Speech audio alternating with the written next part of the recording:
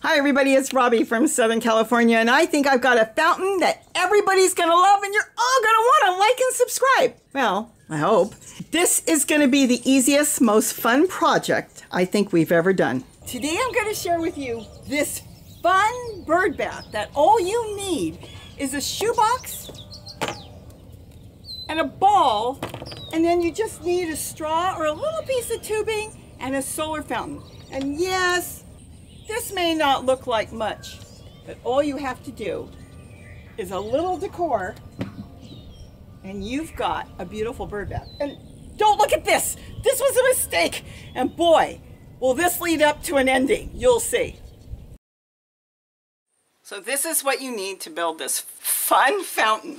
You need a shoebox, a plastic shoebox with a lid. Now the lid normally goes on like this, but you're going to turn it this way. This is going to hold water as the water comes off the ball. The ball will be going here, the water will be going here. Now for the ball, you want to use a styrofoam ball and you want to make sure it's styrofoam. Do not use a floral ball. Now this is floral foam and it's crumbly. See how it crumbles away? It just crumbles off, falls apart. It's made and designed to soak up water. That's what you don't want. Floral foam is for flowers. They stick it in and then it absorbs water like a sponge. This will not work for using in a fountain. Green floral balls, they fall apart. That's what they're designed for. Think of styrofoam coffee cups. They use that for serving coffee in. Those do not break down. They last practically forever. You want styrofoam. They come in white and they also come in green. Just make sure it's styrofoam. The rest is easy. You want one hole in the center. We'll come back to that soon. And then with this, just start making your holes. Now you're gonna want more holes than less holes. Let's get the holes done and I'll explain that. And as you know, I love my soldering iron. It's electric and I do tons of projects with it.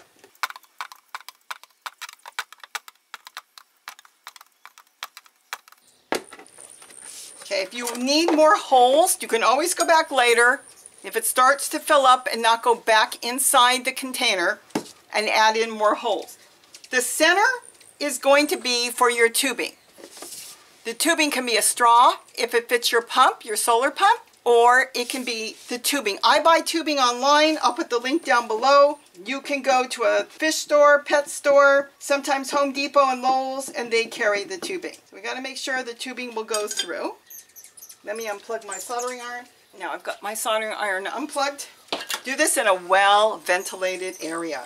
Now your tubing should go through without any problem. Look at that, no problem with that. Now I'll show you how to make a hole. It's very easy to make a hole in a styrofoam. You can use a screwdriver or a knitting needle. You heat it up. You can heat it up over a candle that's lit. I prefer a cooktop that's gas and heat it up. And then you just put your screwdriver or your whatever metal you're using and you push it through and it will go through very, very quickly.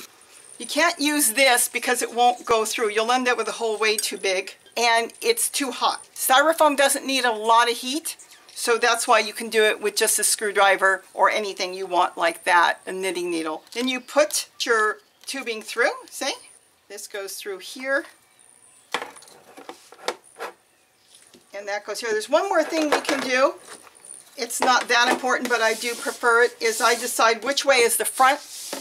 And what I do is I make a notch. You can make it on the corner or you can make it right here. This is still hot enough, I believe, to make the notch. What the notch is for is for your cord. So you can make the notch anywhere you want, but you want to get the cord so this way the lid will sit down nice. You can test it out as soon as the plastic is cool. Yeah, it stays hot for a long time. See the notch? That notch will fit your cord through.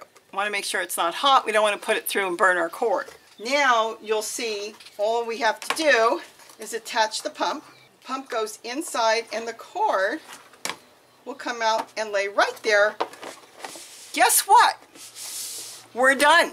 The only thing we need to do is go outside, fill this up with water, and find a place to put our solar panel. That's all there is to it. So that is how easy it is. As soon as I made it, I put it out in the garden. The problem was all the birds started coming to him. I had the beautiful blue scrub jay. He took it over. He was drinking from it. I had some house finches. It was the cutest thing. They came over and they were looking inside the shoebox trying to figure out where the water was. It was so cute. And then they started drinking and then pairs were coming of house finches. It was adorable. Even a grosbeak came to check it out. And then a little goldfinch came by and was drinking and the hummingbirds never got a chance to use it. I felt so bad. So I brought it over to the deck and here they are. Yes, I made two and I made one with a ball and we'll talk about the styrofoam cups in a few moments. But when I put it on the deck, they went wild, the hummingbirds. They started coming and taking a bath off the ball. They loved the ball. It was the cutest thing. Now, like I said, put flower pots around it, put it in a planter. You can move this. This is the easiest thing to move around. It doesn't weigh much at all. You're going to have a blast with this and the birds love it. They don't care if it's sitting out in the open just like that or if you've got plants around it, but it's been so fun. And of course, the Orioles who are on the deck too because I feed the hummingbirds and they hang around here too. They found it. The male hooded Oriole came down and he took a drink.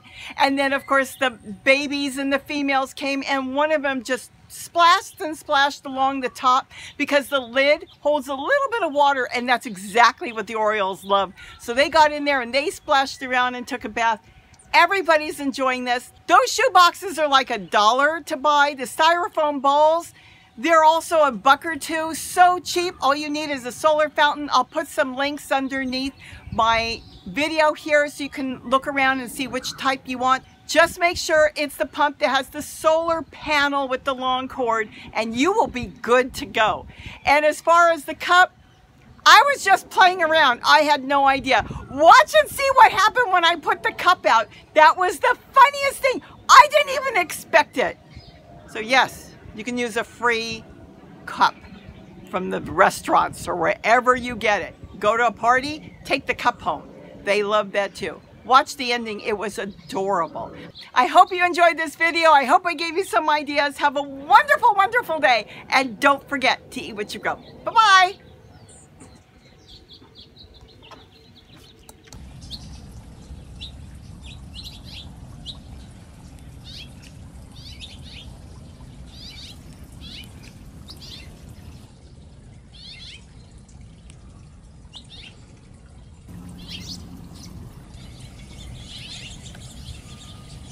Oh my gosh.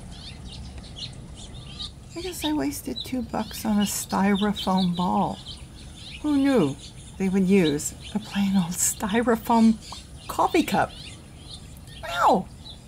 Okay, that's another video on how I made that. Too fun. Actually, just too cute.